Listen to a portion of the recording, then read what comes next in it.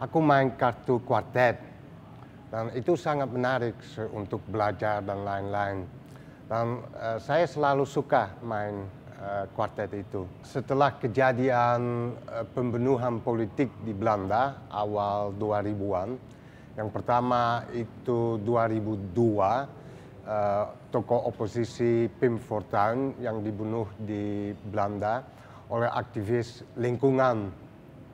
Dan uh, aku mulai mikir tentang pembunuhan politik, kenapa itu terjadi dan uh, apa uh, akibatnya dari itu. Kuartet itu muncul kembali.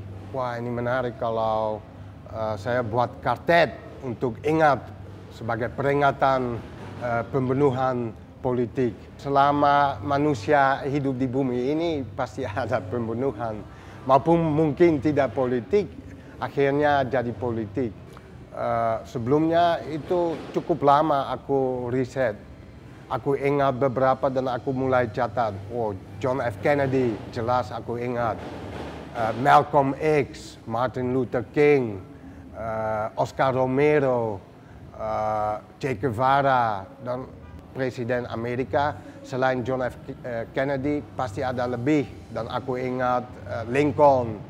Nah, aku mulai riset cari dua lagi supaya kuartetnya komplit karena kuartetnya empat kartu per tema.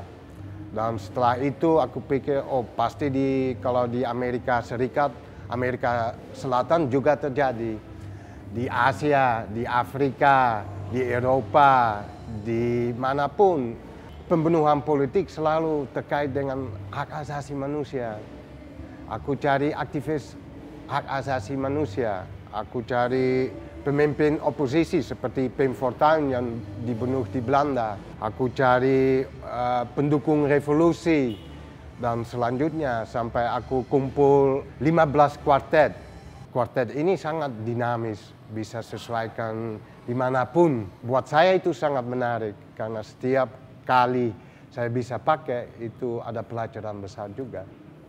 Untuk cetak poster itu kurang resmi kalau cetak sebagai foto besar karena jelas kalau pamer yang kecil-kecil itu tidak menarik. Untuk cetak di kardos uh, ya seperti pamflet-pamflet daripada terlalu resmi. Ini memang untuk peringatan tapi tidak wah, ini karya seni dan foto-foto dan gini-gini tidak begitu. Nah, dasar dari uh, karyaku seperti uh, kuartet ini memang pengalaman dari kecil sampai sekarang.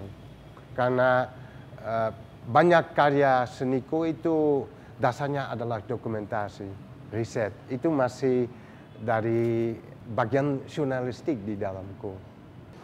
Selamat malam hadirin sekalian dan sahabat GFJA. Pada malam hari ini kembali Galeri Foto Jurnalistik Antara bekerja sama dengan Rumah Kahanan menyelenggarakan pameran visual dengan tema Kuartet Pembunuhan Politik Internasional karya Bapak Aryan Onda dan Weng Hut.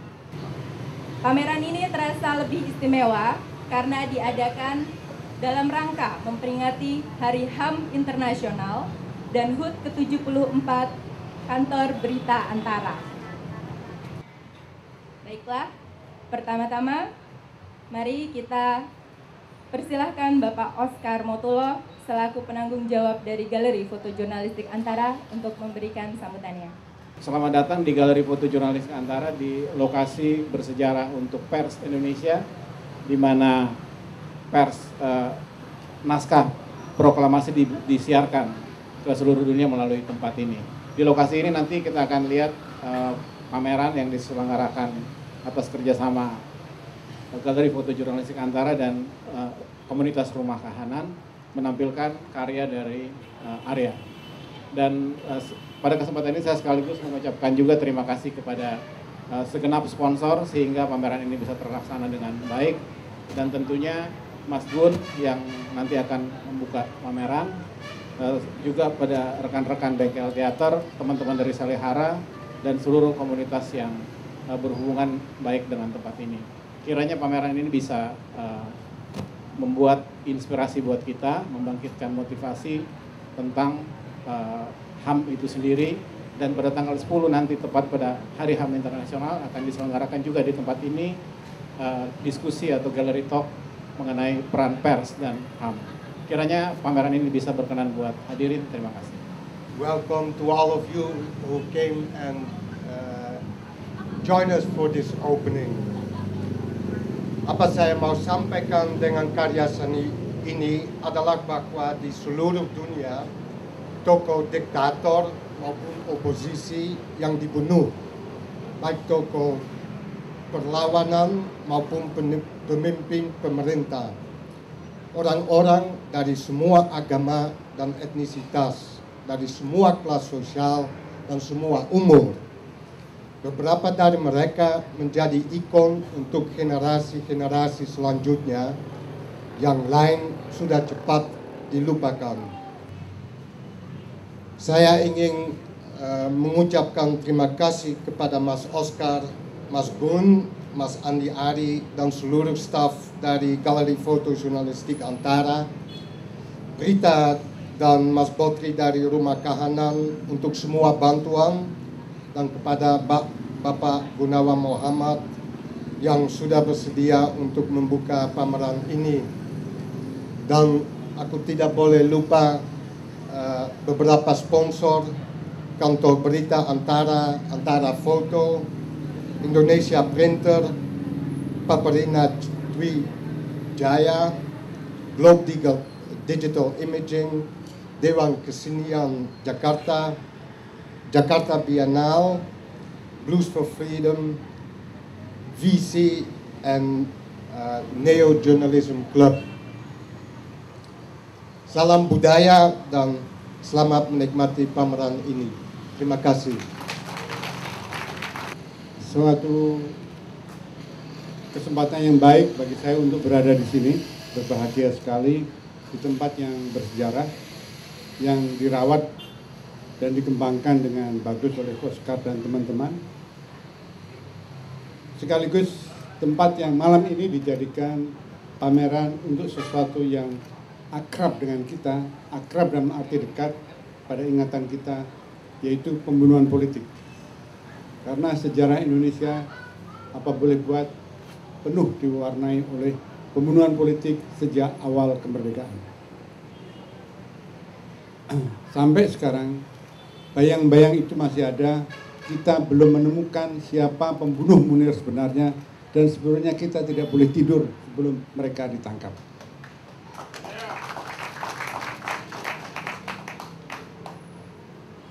Tentu begitu banyak orang mati di dunia karena pembunuhan politik, begitu banyak orang hilang karena perbedaan paham dan keyakinan dan juga kekuasaan di Indonesia dan begitu sedikit tempat untuk menampung mereka.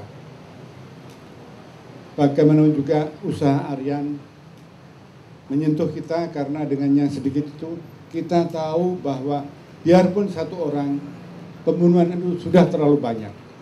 Mudah-mudahan itu tidak terulang dalam sejarah kita yang akan datang. Karena kalau setiap kali perbedaan politik, perbedaan keyakinan diselesaikan dengan kematian dan kekerasan dan pembunuhan, kita akan masuk ke dalam